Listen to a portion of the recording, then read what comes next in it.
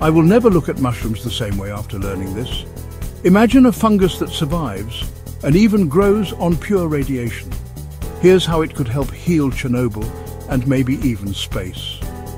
After the Chernobyl nuclear disaster in 1986, everyone thought the place would stay dead for centuries until scientists spotted something wild black fungus growing right on the reactor walls.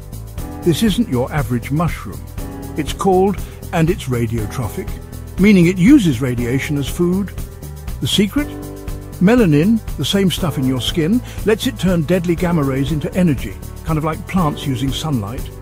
Not only does this fungus thrive where nothing else can, but scientists think it could help clean up radiation spills, protect astronauts from cosmic rays, or even create crops tough enough for harsh climates. So, yeah, life found a way, even in the heart of Chernobyl.